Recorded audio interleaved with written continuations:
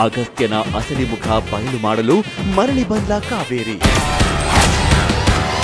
Kaveri Kannada medium. ಇಂದು ಸಂಜೆ ಆರು ಗಂಟೆಗೆ.